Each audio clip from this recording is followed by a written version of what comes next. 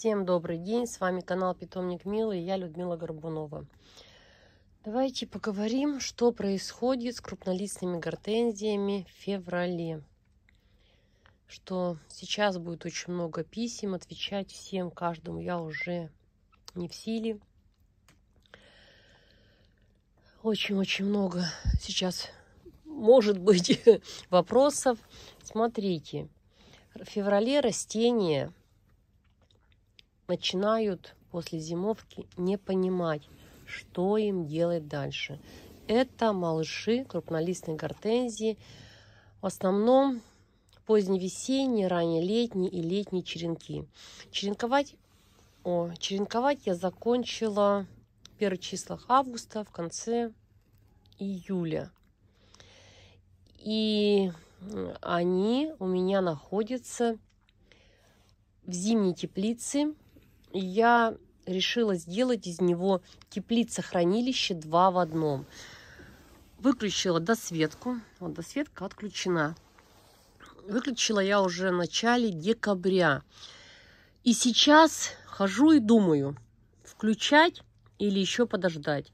Чем дольше, тем лучше период покоя. Но все-таки хочется, чтобы они начали расти. Только включая досветку, начинаю кормить, поить, обрабатывать, они сразу пойдут в рост. Сейчас февраль, они находятся в разном состоянии.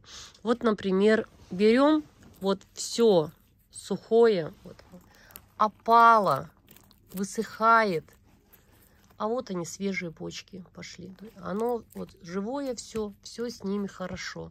Даже самые маленькие вот такие, они были лопушистые такие, с листиками. Сейчас есть просто цветочная почка. Вот цветочная почка.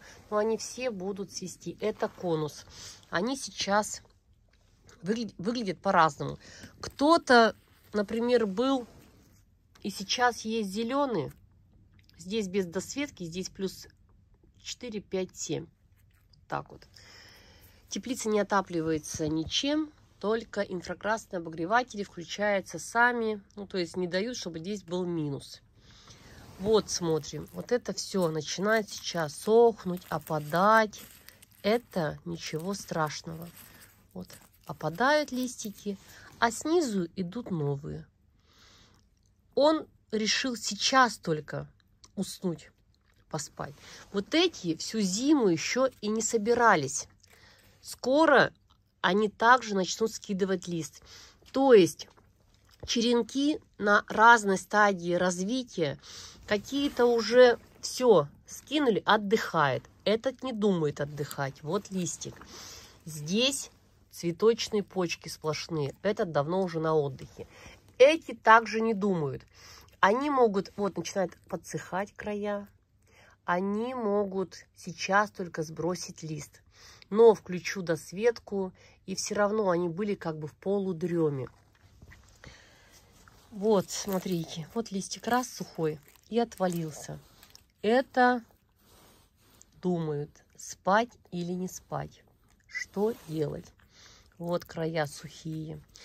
Вообще в хранилище, у меня еще хранилище есть, там плюс 2, 3, 5 я там я ни разу не поливала за зиму.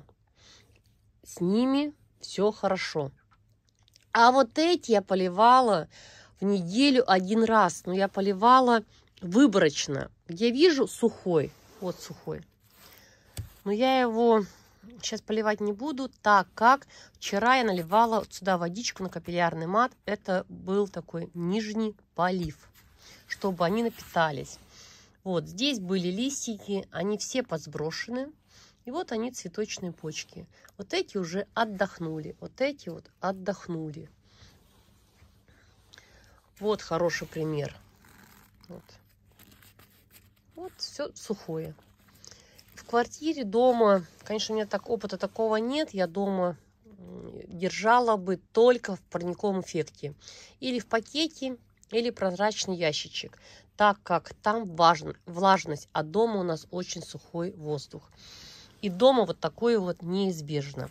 Вчера я полила первый раз сорта фосфорной кислотой. Знаю, что надо 2 капли на 10 литров. Можно сжечь. Очень аккуратно.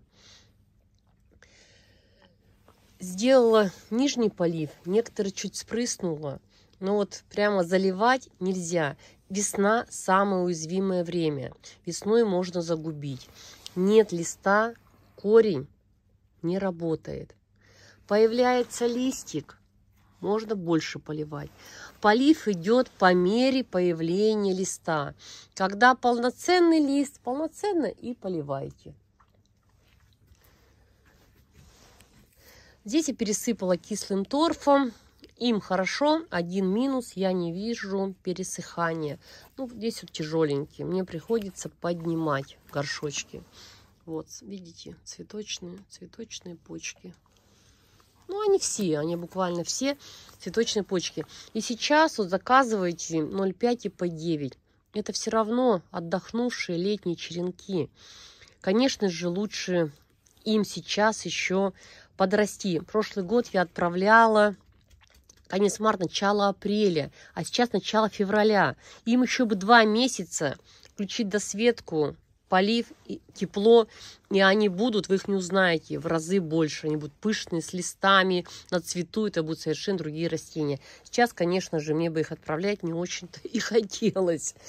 Вот. Ну что, корни где-то есть отличные, где-то есть 50%.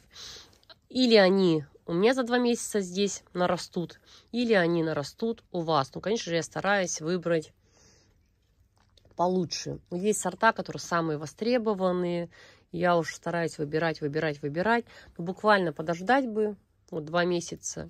И все с ними. Они будут совершенно другого вида и качества. Самое главное, сказала, аккуратнее быть с поливом. По листу также, ну, только если обработки. По листу брызгать нежелательно. И с, с профпрепаратами я прям очень аккуратно, очень осторожно. Лучше сделать меньше, так как можно поджечь. Какие вам еще показать? Какие? Ну, здесь френч болеро. Вот они на цвету, все на цвету. Ну, это прошлогодние также. Здесь нормальные корни, нормальные у меня хранилище включилось. Вот то, что есть. Блю и пинк. Вот кажется, сейчас это палочка. Но это его в 3-5 литров. Это будет летом. Ну, не огромный, но да, вполне приличный кустик. Цветущий обязательно. Что снизу проснется еще. Вот, вот здесь пойдут. И когда включать, например, досветку. Вот терпим до последнего когда, вот сейчас не вижу, из земли пойдут уже побеги расти. Сейчас найдем так вот эти пока вот все отлично. Ну, примерно вот так, ну вот начинает, ну вот это нормально. Если будет уже тянуться, тогда включать надо досветку и тепло. Сейчас еще вам найду, может быть, такой, что они вот сейчас еще в норме, но мне хочется уже врубить ее. Вот как вы думаете, врубить, не врубить досветку? Ну, примерно вот, но это еще все хорошо. Чтобы, как вот в подвале, в хранилище не было таких таких длинных, не тянуть. Здесь такого не будет. Только пошли вот прикорневые, нет, не здесь, прикорневые земли, то все, можно. Ну, здесь еще маленький только полез. Грунт, да, зеленеет, зеленеет. Ну, это от кислоты все равно они у меня здесь с добавлением кислого торфа. Эти будут расти без осмокота, а смокот для новых посадок, для весенних, которые буду переваливать. Весенний сделаю в марте. Они будут готовы где-то, ну, может быть, в июне, может быть, примерно так. Все, показала вам, предупредила, чтобы не совершить этих ошибок. Сейчас не кормим, но когда я включу досветку, я полью монокалий фосфат. Спрашиваете норма, расход, дозировка. Сзади смотрите, там все написано. Там специально обученные люди, умные люди все написали. А если общая, ну, такая как норма, обычно идет столовая ложка, там не полная, на 10 литров воды. Можно сделать половинную норму. Сделать половину столовой ложки или чайную. Все. Берегите своих красавиц, не загубите их. Желаю всем красивых-красивых цветов. Всем всего хорошего. До свидания.